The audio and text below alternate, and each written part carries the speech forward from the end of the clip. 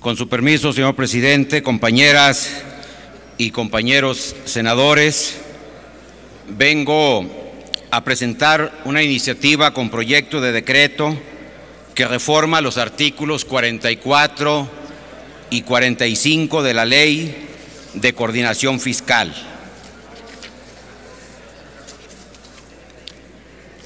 La transgresión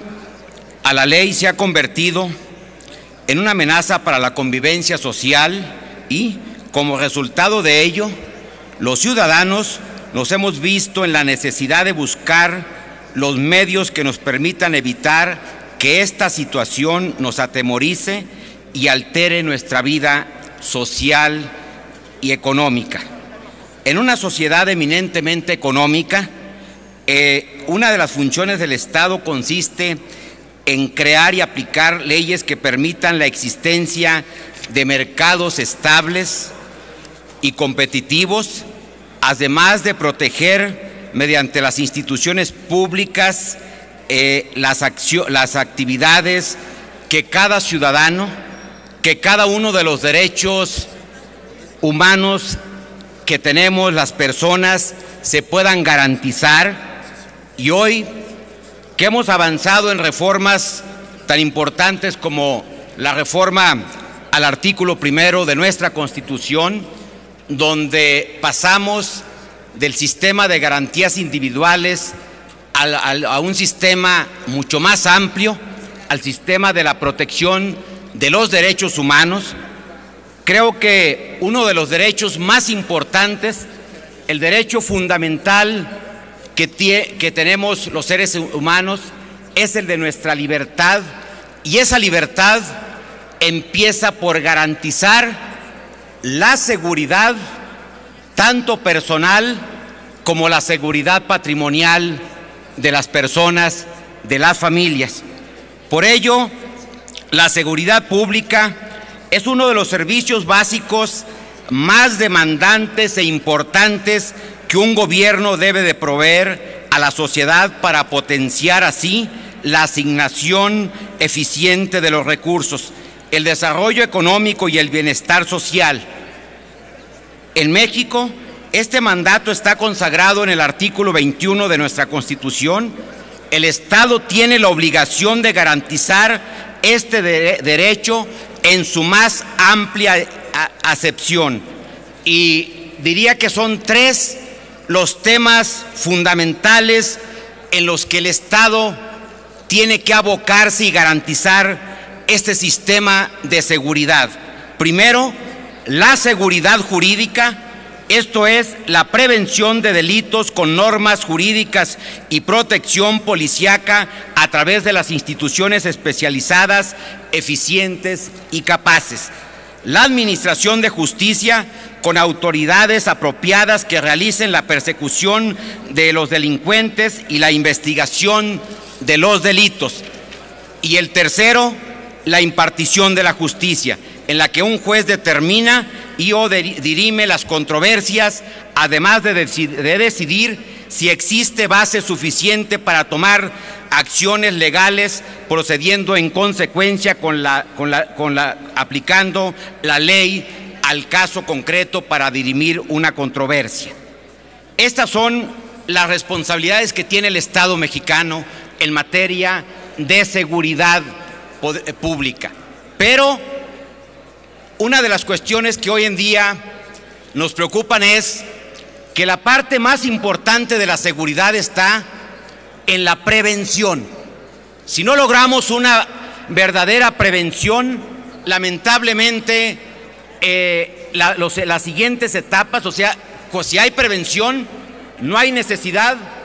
de persecución de delitos y por ende no hay la necesidad de ese castigo. Pero para ello tenemos que fortalecer a las instituciones y el Estado mexicano tiene muy bien definidas cuáles son las funciones que tiene cada orden de gobierno. los gobiernos municipales son la parte más débil de esta estructura gubernamental. Al municipio le exigimos que nos dé seguridad, que garantice el libre tránsito de las personas, tanto en la seguridad personal como en la seguridad patrimonial. Pero lamentablemente no le damos al municipio los recursos necesarios para poder atender esta situación. Por eso es que la propuesta que vengo hoy a plantear es que reformemos la ley de coordinación fiscal para que a los municipios se les pueda asignar, se les pueda dar la garantía de que de los recursos que reciben en el, Fondo de Aportaciones para la Seguridad Pública y del Distrito Federal, un porcentaje mínimo vaya a los municipios y que no como hoy en día de manera discrecional los gobiernos estatales distribuyen ese recurso entre los municipios de sus entidades de forma discrecional y no le da la seguridad, la garantía a los municipios de recibir cuando menos una cantidad que le garantice el poder atender las funciones, las responsabilidades que tiene en la parte de la prevención de la seguridad. Por ello, si eh, recordamos todos que los municipios, además de lo que reciben del Fondo de Aportaciones para la Seguridad Pública y del Distrito Federal, donde no va contemplado, reitero, con una garantía de qué porcentaje deben de tener los municipios, Además de ese recurso, ¿qué otra, ¿qué otra participación tienen en materia de seguridad los municipios? El Subsemun, el Subsemun que es el subsidio municipal para la seguridad pública, que fue creado en el año 2008 y que surgió con, el apoyo a 150 municipios. Hoy en día son 251 municipios de los